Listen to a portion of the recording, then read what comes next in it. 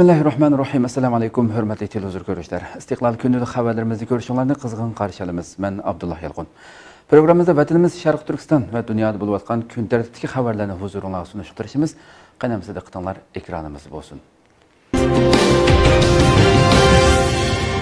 Xitoyning tibbiy buyumlari turkumlab qaytirilishga boshildi xitoy doirlari yuqumni kontrol qilganligini e'lon qilgandan keyin xalqaroda yuqumga birlikda qarshi turish diplomatiyasini yurgizayotgan bo'lib bildirilishicha saksondan ortiq davlat va tashkilotlarga maska va sinoq qutilarini setib bergan yoki iona qilgan. Ammo ko'plagan davlatlar bu tibbiy buyumlarning sifatida masala borligini bildirib qaytirib o'tishga boshlagan. Германия авазы торының бу қабірді білдіріліше Голландия сәхия министрлыгы 28 март баянат элан кылып, Қытайдың сетип алган 1 миллион 300 мең тал масканың ішігі дәүләт ичиге әмі сүпет әмма етмейді қалықыны байқап, байкап, йыгып элишкә қалықыны білдірге. Қытай Филиппинга 100 мұнтал тал құтысы ианы қылған кылган булып, муавин сәхия министері 28 март баянат элан кылып, бір қысым сынақ құтыларының тоғырлық неспітінің аран 41 сәнге етедіғанлығыны bularni ishlatmaydiganligini bildirgan. Ammo xitoyning filippinda turishliq bosh elchisi buningga ifoda bildirib sinoq qutilarida hech qanday masala yo'qligini filippin amaldorining asossiz so'z qilganligini aytgan. Chex jumhuriyatimi xitoydan zakaz qilgan 150 ming tal sinoq qutisining sifatsiz ekanligini to'g'riliq nisbatining aron 20 ekanligini e'lon qilgan. Ammo xitoyning chexdagi bosh elchisimi o'xshashla buni inkor qilib tibbiy buyumlarning sifatida masala yo'qligini chex tarafning bularni to'g'ri ishiltalmaganligini taratqularning ko'p turib xabar qilganligini bildirgan ispaniyami xitoydan 430 million dollarlik tibbiy buyum zakaz qilgan bo'lib buning ichidagi sinoq qutilarining to'g'riliq nisbati oralli 30% chiqqan sahiya tarmoqlari ishiltishni to'xtatgan va mol qaytirdiganligini bildirgan bulardan sirt turkiya malayziya qatorliq davlatlarmi xitoyning sinoq qutilarining sifatsiz ekanligini xatolik nisbatining yuqori ekanligini bildirib bularni ishlatmaydiganligini e'lon qilgan. Xitoy jasuslarining boshqa davlatlarga virus tarqitib tarqitayotganligi oshkorlandi. Qirim xabar agentligining 30 martdagi xabarda ma'lum bo'lishicha xitoy jasuslarining xitoy virusini dunyoning har qaysi joylariga tarqitib tarqitayotganligi oshkorlangan. Tailandning poytaxti bangkokda bir xitoy sayohatchi avtobusga tukirib yo'lovchilarda andisha paydo qilgan. Yo'lovchilar soqchiga ma'lum qilgandan keyin soqchilar va sahiya xodimlari naq maydonga yetib kelib xitoyning virus bilan yuqumlangan yuqumlanmaganligini tekshirmoqchi bo'lgan. Biroq xitoy bir necha kundan keyin imtihonim bor xitoyga qaytish beltini elib bo'ldim vaqtim yo'q deb turib olganligi uchun qo'yib berilgan. Oradan bir necha kun o'tgandan keyin yana shu xitoy ayolning bangkokdagi poyezd stansiyasida qalaymaqan tukirganligi xabar qilingan. Soqchi va sahiya xodimlari bu xitoyni tutmoqchi bo'lganda qarshilik ko'rsatib soqchi va sahiya xodimlariga tukirishga boshlagan. Natijada soqchilar bu xitoyni qo'lga olgan va tekshirish orqali virus bilan yuqumlanganligi oshkorlangan. Egilishicha dunyoning har qaysi joylarida virus tarqatmoqchi bo'lgan sayohatchi xitoylar davomli tutilmoqda ekan. Turkiyada xitoy virusi bilan qazo qilganlar yana ko'paydi. 30 mart turkiya jumhuriyati sahiya ministrligi xitoy virusi bilan yuqumlanguvchilarning 10827 ga yetganligini e'lon qildi. Sahiya ministri fahrettin Koca tunugun tushdan keyin soat 19 dan 9 minut o'tganda o'zining telegram sahifasida xitoy virusi bilan yuqumlanish va qazo qilish ahvolini e'lon qilib virus bilan yuqumlangan deb gumon qilingan 11535 kishini tekshirish orqali bir kun ichida 1610 kishining virus bilan yuqumlanganligining aniqlanganligini buning bilan turkiyada xitoy virusi bilan yuqumlanguvchilarning 10827 ga yetganligini bir kun ichida yana 37 kishi qazo qilib jami qazo qilganlarning 168 ga yetganligini e'lon qildi. Sahiya ministrligi bergan ma'lumotda yana davolanayotgan bemorlar ichida 162 nafarining salomatligi asliga kelganligini bildirish bilan birga turkiyaning barliq tadbirlarini olganligini virusning yosh qiyri ayrimasdan yo'qotganligini shunga yashanganlarni shundoqla barliq turkiya xalqini turkiya hukumatining xitoy virusiga qarshi yo'l qo'ygan tadbirlarini qo'llab talog'i chiqmaslikqa kapolatlik qilishga chaqirdi.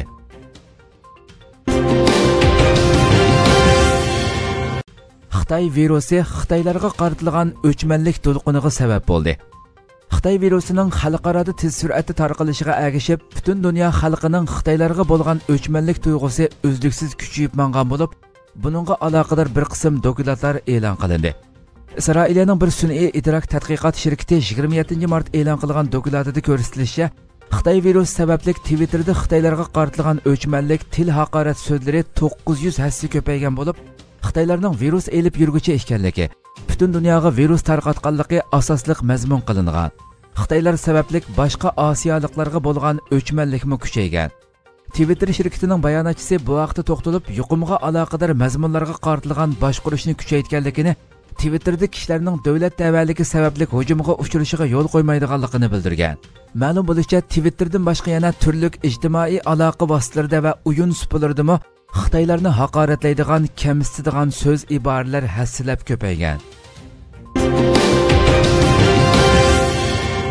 Isroiliya bosh ministri netanyaxu o'zini ayirib ko'zishga boshladi. Val ko'chisi gazeta to'rining bugungi xabarida ma'lum bo'lishicha isroiliya bosh ministri benyamin netanyaxu bu dushanbadan boshlab o'zini ayirib ko'zishga boshlagan. Xabarda isroiliyadagi bir maslahatchining virus bilan yuqumlanganligining aniqlanganligi netanyaxuning bir necha kun burun uning bilan ko'rishganligi shu sababli netanyaxuning ishxonasi oldini olish tadbiri sifatida bir muddat ayirib tekshirishni qaror qilganligi sahiya ministrligi va netanyaxuning shaxsiy doktorimi netanyaxuda yuqumlanganlik xavfi bor deb hukm qilganligi bildirildi.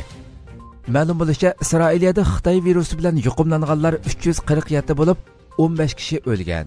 Netanyaxu isroiliya tavalligida keng ko'lamli cheklamalarni yo'l qo'ygan bo'lib agar yuqumlanish sur'ati ostilamasa texmi ko'p tadbirlarni yo'l qo'yishga tayyorlik qilmoqda ekan. Bir qancha kun burun angliya bosh vaziri boris jonsonning xitoy virusi bilan yuqumlanganligi dalillangan bo'lib navbatda o'z uyida ayirib davolanayotganligi xabar qilingan edi. Xitoy virusi bir balvoq bir yo'l planini palach holga tushirib qo'ydi. 30 mart amerika ovozi xabarida bildirilishicha xitoyning Wuhan shahrida paydo bo'lgan virus bir balvoq bir yo'l sodi planini palach holga tushirib qo'ygan. Xitoy virusi o'tgan yilning oxirida xitoyning vuhanda bayqalgandan buyon dunyodagi 160 davlatga tarqalib 700 mingdan ortiq odam yuqumlandi. Xitoydagi ishlab chiqarish 2 oydan ko'proq vaqt to'xtadi. Virus xitoy iqtisodiga g'oyat zo'r ta'sir ko'rsatish bilan birga xitoy diplomatiyasiga ta'sir ko'rsatdi. Jumladan shi zinpinning bir balvoq bir yo'l savdo planiga ta'sir ko'rsatdi. Xitoy taratqullari virus bir balvoq bir yo'l savdo planini qisqa muddat kechiktirsimi yanada davomlashadiganligini ilgari surib kelmoqda. Ammo pokistonning plan taraqqiyot va islohot ministri asad umar shu yerdagi millat gazitining ziyoratini qabul qilib xitoy virusi davomli yamrab ketgan ahvolda 62 milliard dollarlik xitoy pokiston iqtisodiy koridorining qurilish vaqtining kayniga surildiganligini bildirgan. Bengalning yo'l transport va ko'rik ministri ubaydul koadir muxbirlarni kutib olish yig'inida so'z qilib bodo daryosini kesib o'tadigan 1 milliard 100 million dollarlik ko'rik qurilishining to'xtab qolganligini bildirgan.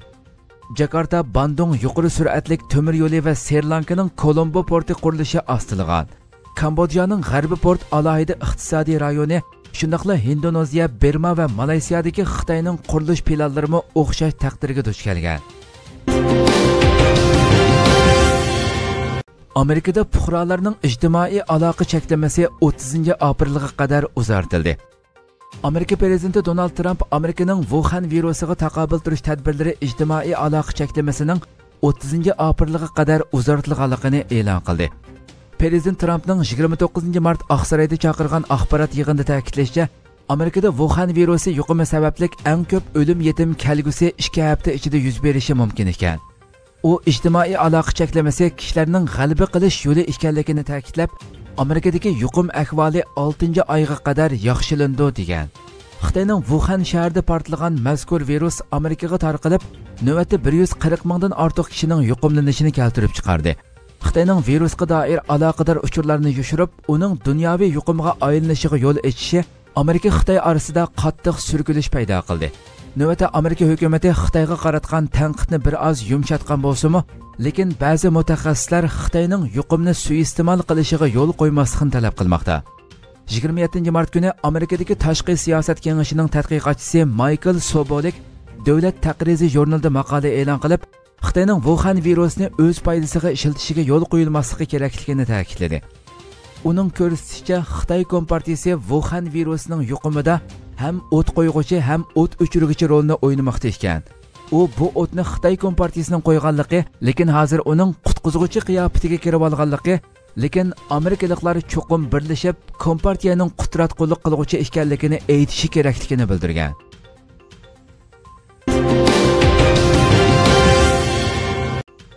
Zimiston to'ri xitoyning o'tgan yili 100 ming parcha qur'oni karimni ko'ydirayotganligini ilgari surdi. Xitoy doirlarining o'tgan yili 100 ming parcha qur'oni karimni ko'ydirayotganligi va shandong ham ningshiyada tunganlarning ikki diniy maktabini taqab uningdagi sharq turkistonlik o'quvchilarni tutqun qilmoqchi bo'lganligi ilgari surildi. Italiyadagi zimiston nomli diniy erkinlik to'rining xabar qilishicha doirlar o'tgan yili ningshaning yingchuan shahridagi bir diniy maktabni taqab bu maktabning 100 ming parcha qur'onini shundoqla ikki ming o'n 2019 yili atiyozda sharq turkistonlik to'polonchi terrorchilarni tutamiz degan bahona bilan shandong o'lkasining jungshahay tungan yesisidagi diniy maktabni oqtirib bu diniy maktabdagi atalmish shinjonglik o'quvchilarni tutqun qilmoqchi bo'lgan bo'lsimi lekin maktabdagi tungan o'quvchi va mudarrislarning orilishi bilan sharqi turkistonlik o'quvchilarni tutqun qilish niyatining amalga oshmaganligi bildirilgan. Yerlik bir tungan diniy zot zimiston to'rig'i qilgan so'zida agar diniy zotlar tutqun qilinib yosh musulmonlarni tarbiyalash mushundoq cheklansa e'tiqodimiz kelgusida tadrijiy yo'qolishi mumkin degan. Xabarda qayd qilinishicha doirlar 2019 yili 7 oyda yingchuandagi diniy maktabni oqtirib uning bir qism o'qituvchi va o'quvchilarini so'roq qilgan. Shu qitimda bu maktabning 100 ming parcha qur'oni karim kitobi musodir qilinib ko'ydirib o'tilgan. Shu yili 11 oyda bu maktabmi taqilib o'qituvchi va o'quvchilari tarqitib etilgan. Xitoy rejimi ilgari tunganlarga nisbatan kengroq siyosat yurgizib kelgan bo'lsimi lekin 2017 yili sharq turkistonda boshlangan cho'ng tutqun bilan tang ulargami diniy cheklama qo'yishga boshlagan edi. Wuhan virusi sharq allariga ig'ir ta'sir ko'rsatishni davomlashtirmoqda. Dunyo miqyosida Wuhan virusi jiniga zamin bo'lganlarning soni 35 mingdan oshdi va yuqumlanuvchilarning soni 750 mingdan halqib ketdi. Turkiya ovozi radiosi xabarda bildirilishicha, Shimoliy Siprus Turk Jumhuriyatida Wuhan virusiga qarshi bugundan e'tiboran soat 21 dan 6 gacha ko'chaga chiqishni cheklash belgilamasini yo'l qo'yish qaror qilindi. Shimoliy Siprus Turk Jumhuriyatida germaniyalik bir sayohatchi yuqum sababidan qazo qilgan bo'lib, yuqumlanuvchilarning soni 69 ga yetdi. Eronda Xitoy virusi sababidan 2700 dan ortiq odam qazo qildi. Yuqumning kam deganda 2 oygacha texmo ig'ir davomlashishi mo'ljallanmoqda. Ozarbayjonda yangi tipdagi vuhan virusiga qarshi kurash tadbirlari doirasida ko'chaga chiqishni cheklash e'lon qilindi. Hozirgacha virus sababidan 4 odamning qazo qilganligi, 273 kishining yuqumlanganligi bildirildi. G'azzi rayonida o'n kishi bo'lib, ishg'oliyat va qamal qilinish ostidagi Falastinda virus bilan yuqumlanganlarning umumiy soni bir yuz o'n oltiga yetdi. Iroqda vuhan virusi sababidan qazo qilganlarning soni qirq oltiga yuqumlanguvchilarning soni olti yuz o'ttizga yetdi. Aljeriyada vuhan virusi sababidan qazo qilganlarning soni o'ttiz beshga Marokashda o'ttiz uchga Iordaniyada beshga yetdi. Tunisda virus sababidan qazo qilganlarning soni o'nga yuqumlanguvchilarning soni uch yuz oltmish ikkiga yetdi. Bermada Вухан virus sababidan tunji o'lim voqeasi yuz berdi. Afg'onistonda yuqumlanganlarning soni 174 ga yetdi. Xitoydagi dala o't ofatida 19 nafar o't o'chirish xodimi o'ldi. Xitoyning Sichuan o'lkasidagi dala o't ofatini o'chirishga qatnashgan 19 nafar o't o'chirish xodimining jasadi topildi. Xinhua agentligining xabar qilishicha, Shichang shaharlik uchur aloqa boshqarmasi e'lon qilgan bayonotda Tunigun shu yer vaqti soat 16 atrofida bir dehqonchilik maydonida yuz bergan o't opitining uzun o'tmay kuchli shamolning ta'sirida yaqin atrofdagi tog'liq rayonga tutashganligi uqtirildi. Bayonotda o't o'chirish atritining kech soat 2 atrofida tuyuqsiz shamolning yo'nalish o'zgartishi tufayli dala o't opitining ichida qopsilib qolganligi bildirildi. O't o'chirish atriti uchun elib berilgan izlash va qutqizish xizmatlarida 18 nafar o't o'chirish xodimi va ularga yo'l ko'rsatuvchi yerlik o'rmon xizmatchisining jasadlari tepildi Xitoy kundalik gazeti izlash va qutqizish xizmatida yaralangan 3 nafar o't o'chirish xodimining doktorxonada bolnisga elinganligini xabar qildi. Ammo Xitoy doiralari yerlik xalqdan ofatga uchraganlar haqida hech qanday ma'lumot bermadi. Saudiya Arabiston boshchiligidagi birlashma qismlar Yamanni qattiq bombardimon qildi. Birlashma armiyaga tava urush aeroplanlari San'adagi urush maktabiga 4 havo hujumi va San'a aerodromiga yaqin Addaylami havo armiya bazasiga 5 havo hujumi elib bordi. saudiya arabiston boshchiligidagi birlashma qismlar yana sanadagi birinchi broneviklar lageri va assiyana bosh shtabini shundoqla attan va annahdayn tog'lari hamda assabin maydoni shundoqla shahar markazidagi prezidentlik kulliyasini havodan bombardimon qildi Vaqani o'z ko'zi bilan ko'rgan guvohchilarning aytishicha, poytaxt markazidagi Assiyana bosh shtabi bombardimon qilingandan keyin qattiq portlash ovozlari anglangan. Hujumda bosh shtabdagi qurol yaroq iskilotining portlagan bo'lishi mumkinligi o'tirg'a qo'yildi. Birlashma qismlar yana poytaxtning janubidagi Al-Hafa markazini hujum nishoni qildi. Xusiylarga tava Al-Masira televiziya kanalining xabariga qaraganda Birlashma armiyaga tava urush aeroplanlari San'aning o'xshamagan joylariga 15 qatim havo hujumi elib borgan. Uzun mezgildan buyon siyosiy muqimsizlik avj olgan Yamanda Iron qo'llayotgan Husiylar 2014 yili 9 oydan boshlab poytaxt San'a va boshqa bir qism rayonlarning kontrolligini olqiniga kirgizib olgan edi. Saudiya Arabiston boshchiligidagi birlashma qismlar 2015 yili 3 oydan beri Husiylarga qarshi Yaman hukumatini qo'llab kelmoqda.